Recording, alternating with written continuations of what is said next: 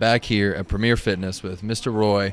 And can you tell me a little bit about what brought you here? What brought? What's your journey? Because you were telling me you're a competitor, so you're a bodybuilder. You've done a bunch of different things in the industry. Yes. So So I, I started working in the fitness industry about nine years ago. okay, And then I grew up playing every civil type of sport. Yeah. Uh, started going to actual gyms when I was 13 years old. okay, Wrestled throughout high school.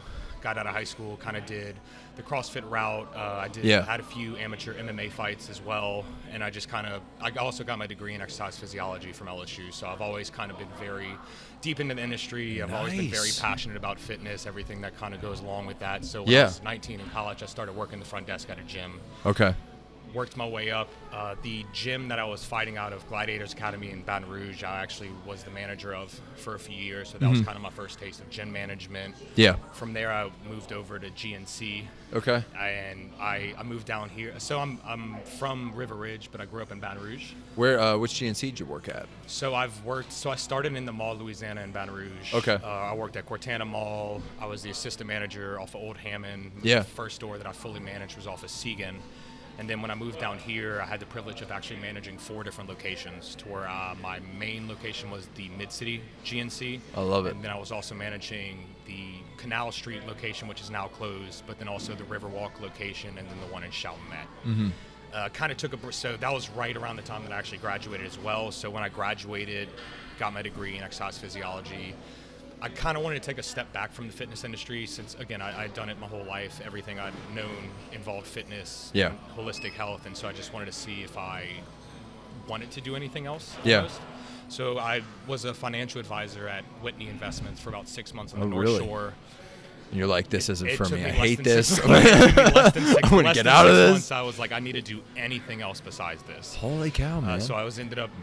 We used to have some gold gym locations in the West Bank, so I was doing sales over there. okay. We were informed that the gold gym location was going to shut down. Yeah. And within that week, I had actually applied to get my master's at LSU to get a master's in exercise physiology. Mm-hmm. I'd also been offered a job working at the LA Fitness in Slidell, St. Charles Athletic Club, which is now closed, and then Premier Fitness, which this was the gym I actually worked out at. Okay. And uh, I just kind of took the opportunity because I'd been around here for about a year, and I was like, I, I, kn- or I know the staff, Yeah. I know the type of gym it is, and it's ideally the gym that I wanted to own one day was a big house gym that kind of just accepts every type of people. That we have different type of workout equipment for any great, man. style, Yeah. all ages, all levels of fitness expertise, and so I'm just I love it, I've loved it here. I've been here for five years now, and What's it's just, the the the rooms you got? I see there's a room over here. Where's uh that one right there? Is that like a yoga room or a yoga yeah, facility? Yeah. So okay. we have three separate rooms for uh, our group exercise classes, which Okay. are included in the membership. We do have a basic mind and body room that we use for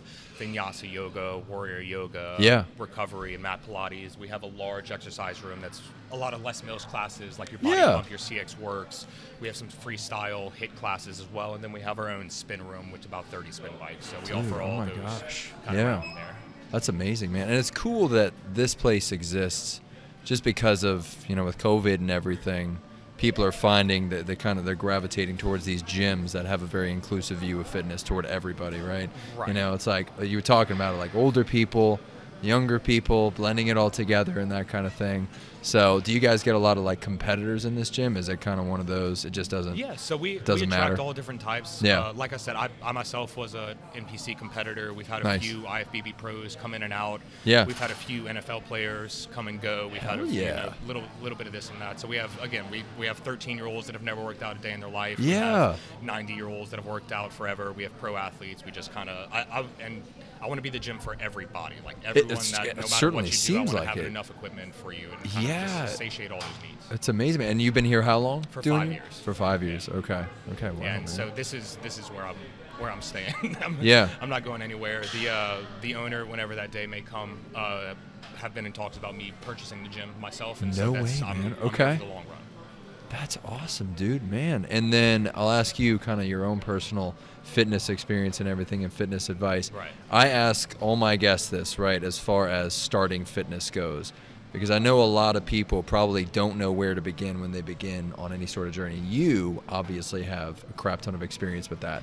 But what would you say to anybody trying to maybe lose weight, build muscle? What's the first step they take besides like going to right, a gym, besides you actually know. showing up, besides actually showing up, having yeah. the initiative step. Yeah. The first thing I honestly try to tell everybody is do something or find something that you're going to do that you're going to enjoy. So it's. I agree. That's good. there's a little saying I hear: uh, "What's the best diet? The best diet is one that you're going to follow." That's true though, because it, it's it's nowadays, you know, any kind of fitness plan you take on, it's adaptability. It's not about it's not about reinventing something that you thought you did wrong. It's it's taking the things you enjoy doing because a lot of times that's going to be what sets you up for success, like you Yeah, just said, easily. you know.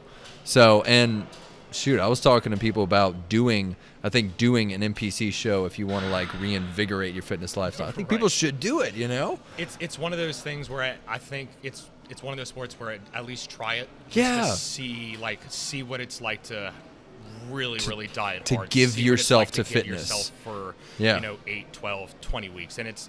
Again, I have a background to where I, I wrestled in high school, so Yeah. I, I was used to the restrictive dieting, the restrictive lifestyle. I came out of high school and started an, a short MMA career, so I was. It, it's always something I was done. So when I transitioned to bodybuilding, it was It was an easy transition. it's all I ever knew. it's all I ever knew. But Yeah. people just starting out, it's like, what do you what do you want to do, but what are you willing to do as well? and it brings you i mean shoot you get back into the gym you know exactly what you're doing once you do a show it's kind of like y- your whole outlook on the fitness way you do fitness right is changed you Right. kind of you understand what you're doing you understand what's happening you know you understand what your body needs at that point. And then it takes practice and everything. So yeah i had a guy who he forgot there was a night show. So he said he started eating. Yeah he did dude. He was like literally he came back about that before. and he goes and he goes dude i started eating brownies. I didn't know there was a night show. And you could tell. He had a Yeah, little, no, little pooch there. little yeah yeah, washed over a little bit. And i was like i was like damn man. And he looked good. That was the that was the problem. It was like he was really good you know he had the body for it so it was just one of those little little mistakes that you make and i It was happens. like we all learn. Oh, I know, I know, but it was so funny. I was like, "Damn, bro, I'm so sorry, man. Oh my gosh." So, well, that's amazing, man. And you work out here as well, as well Yeah. as the gym. So uh, okay, generally, right now, I'm I'm in maintenance. I guess. I got I you. don't really. I'm boring. Get off yeah, my I'm podcast. boring. Like I just. I'm just I'm working out just to almost like fall back in love with the training. Okay. Just because I've had such structured training for so long, so I'm here 8 a.m. Uh, most days of the week. Yeah. I'll do mostly hypertrophy training. What Uh, do you do? What's your split right now? Yeah, so I do. It's a push pull leg split, to where every nobody does that, man. Yeah, That's so the way to it's go like I'll right do push pull legs, take a break, Yeah. and then each week I'll try to do one of those body parts twice. Yes. So I'll throw in It's like an arm day. I'll throw in a. I, I've been doing some more functional training. Like I, I just started boxing again for the first time in about Yeah. seven, eight years. So I, I want to do things I enjoy Yeah. for for fitness and for cardio and just for overall health. But I'm a push pull leg split. I'm here probably four or five days a week. I'm hitting the weights. I love it, man, and that's kind of it's kind of what people. I, I like the push pull legs idea. I know a lot of people do. It is, it doesn't matter, you know. If you're starting with hypertrophy, you can sit there and do whatever. What are you more likely to Yeah. actually come in every day and give your all doing is Yeah. what you should be doing. Yeah, we started. Uh, I'm trying to. We're tr- I'm trying to do a show with um, a buddy of mine, and we're we're doing like the Arnold split, which is kind of funny. You don't Right. you don't think about like nowadays Arnold's Arnold. Like Yeah. his name is synonymous with action movies, with bodybuilding. Everybody knows who it is, but it's funny because I've never spent time learning his actual training style. I never really understood that part of his life. But when you look at it, it it's it's basically a push pull, but it's a very different like smart split focused on multiple body parts during the week, and it's brutal, man. It's pretty long. Oh, yeah, no, it's a so- hard thing. They had a, a lot longer workouts than I see nowadays, Yeah. but they were also doing less cardio than a lot of people do nowadays. He no cardio on his plan, right, man. so it's, no cardio. If you're pushing yourself that hard for that long in the gym, you're burning the calories that you would during cardio. You don't you don't necessarily need it for what they were doing. Did you do cardio when you were prepping? Uh, I've, I've done I've done zero cardio, and I've also done two hours a day on zero carbs. Mm-hmm. What worked best for you? Honestly, like a The- the two hours a day for- sounds awful. That was so for nationals in 2017. The last couple weeks, zero carbs, two hours of cardio a day, and it was a it was a mental thing every day. It wasn't anything else I could have got past that rather than just mentally pushing past it. Yeah. My sweet spot's a good 20, 30 minutes, and not I don't. I'll do HIIT and I, I enjoy doing it, but a steady state for me, I'll get on elliptical, I'll get on a spin bike, 20, 30 minutes, Wow, 80%, and I'm call it a day. Yeah, Yeah, yeah, so that's, that's, the and that's still kind of what I implement now. I just do 15, 20 minutes, just again more more so for cardiovascular health rather than trying to lose weight or get in shape. But I, I enjoy being cardiovascularly efficient, so I'll just do 15, 20 minutes Yeah. three, four times a week, and then like I said, I'll do something like boxing, or I'll go hit up a, a free mat and do a jiu-jitsu class just to kind of move my body. I want to be. The older I'm getting, I want to be more functional. You're not I've- that old, man. How old are you? I'm 28. Uh, I'm not, but 27. I've The hell? Doing this. For, my body feels a lot older. My body. I, I did a, a strongman show last year. Yeah. and That really kind of brought it all. Well, like wow, all these injuries are finally catching up to me. Oh, dude, it was funny. My shoulder's been hurting, and I feel like an old fart now. And and I know I've, sound like an like a wimp too. I'm like, oh my, oh my shoulder, it just hurts so much. My God, you know. But uh, no, I get what you're saying, dude. Yeah. It's like around that age, This after just hit me, 25. like, the last two years, it's because I've been able to like train through injuries, do this and that and the other. It's like nothing, and just these last two years, man, and like a brick freaking wall. like just, it, it all you feel you feel you feel so terrible too. You're like you're like, well, I guess that's my career. Like, I guess I'm over I guess I'm 30, done with life. Yeah.